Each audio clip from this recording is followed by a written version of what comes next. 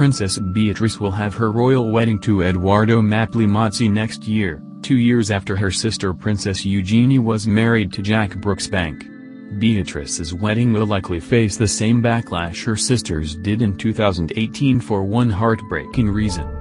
Princess Beatrice and Edoardo Mapelli Mozzi delightedly announced their engagement last week, with the wedding due to take place in 2020. Theirs will be the fourth royal wedding in three years and is likely to take place in the famed St. George's Chapel of Windsor Castle. While most royal fans will have reacted to the news with enthusiasm, it may have left a bad taste in the mouth of others. When Princess Eugenie married Jack Brooksbank in October 2018, she did so amid public controversy.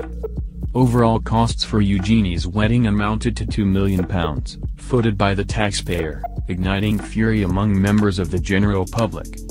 Some people rallied against it, creating a petition calling for the royal family to finance their own ceremony without taxpayer support. Petition organizers Republic claimed the wedding was a private affair, given Eugenie does not serve the public as a working royal. The organization asked the royal family to step forward and pay up for the ceremony, saying they stretched the public to breaking point. Talking The Independent in 2018, a Republic spokesman said, There's a strong feeling, even among monarchists, that we shouldn't be paying for Eugenie's big day. Most Brits opposed taxpayer funding of Prince Harry's wedding but as with all royal events were forced to accept it. But there's something different about the royal wedding, and people aren't happy. The monarchy is stretching its public support to breaking point. They added, there is still time for the royals to step forward and pay up.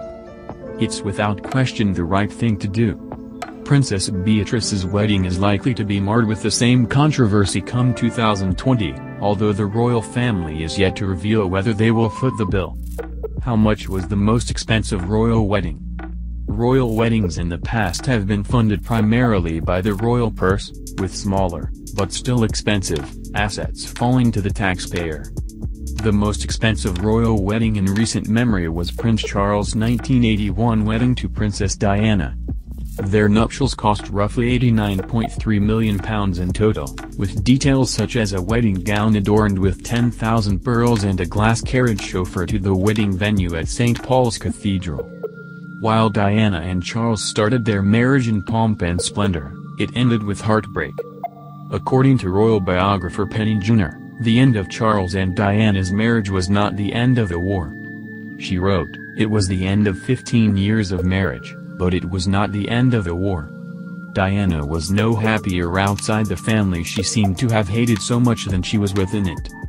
She was still angry with Charles and determined to embarrass and upstage him at every opportunity.